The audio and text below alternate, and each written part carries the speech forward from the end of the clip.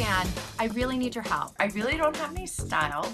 My typical outfit is a black t-shirt with a cardigan and black pants every day. As for my hair, I usually put it in a ponytail or what I like to call a mom bun. I color it every month or so with whatever's on sale at the drugstore, just to cover up the roots. I hardly wear any makeup at all, except for a little bit of foundation and some lip gloss. I'm a busy single mother of three. I'm just completely stuck in a rut and I hope you can help me. So yeah, she's busy. We hear this time and again. She's busy. She puts herself kind of at the bottom of the list. She Yeah. picks up her color at the drugstore, whatever's on sale. Um, one of her friends, Trisha's with us in the audience today.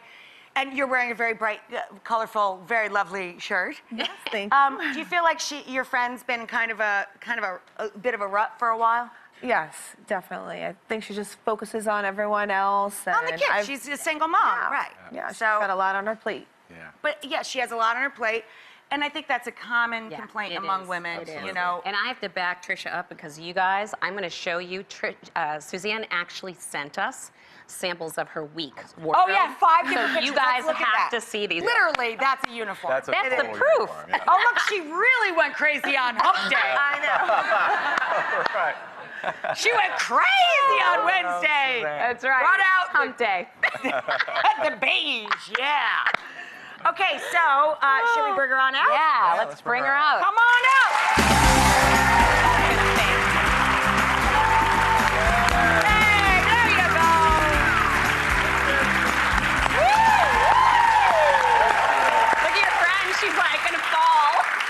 All, you have the most adorable little figure on you. Amazing. Isn't she? Thank you. You should walk around naked. Look at you. you look cute. Thank I mean, Suzanne, you know you look cute, right? Thank you. Right? I, I do now. Yeah.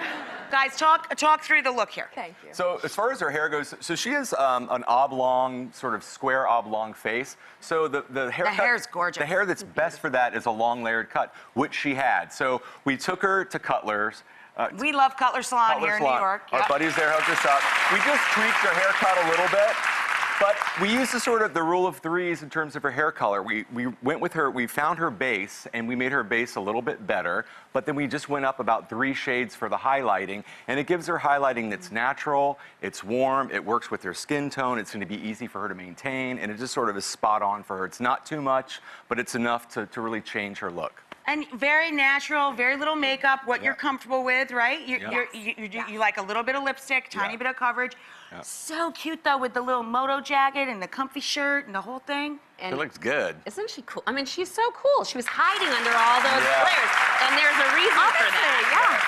So the first thing we started with is back to the foundation, and here it started with the bra. That was kind of, it was the wrong size. I'll get into that, but it was also making her feel. She said, "I just feel more comfortable with loose tops because when you're not feeling secure Well, and you don't, still you know, your loose, shape, but- it's uncomfortable or insecure. Right. It is soft, but it's fitted. It's not like big sweatshirts that are covering you, so you couldn't see her petite frame. Right. So the bottom line with the bra is that she was wearing a plunge bra that was cutting her off, and the band size was 36. The cup size was double D. She is in a 34 hmm. G. So even though the cup sounds bigger, every time you go down in the back size, she's very lucky, and I'm very jealous. And I'm saying, I'd be Oh thrilled to have a CD, anything, anything over the first two. Why- yeah, we want more. What can we say? So, but the bottom line is, is that just because you go up in a cup, and I think we had this exchange, actually is that look very she petite. looks. It actually look makes her look smaller. now. Exactly, Thank you. because it's pulling it into her body. So that's one thing. The tip on the tops, which we talked about, is she can wear a fitted top. Great to have angles in your tops if you are someone who's well endowed or you have great shape. But you want to make sure that you wear V-necks. This has that V illusion with a little bit of open, and see that angle at the bottom. Cut it on an angle. That helps Beautiful. her. And you look so petite in this, honestly, Yeah, tiny. It's just, I mean, it really makes her look smaller. And I think women are worried they're going to look bigger. She's small, bigger bra. tiny. It's But a, she didn't look changes it burying all that fabric. Because it goes You up. agree? Your friend looks hot, right? I think she looks amazing. She's a I- single mom. Take her She out on the tip. I do. She's ready to go.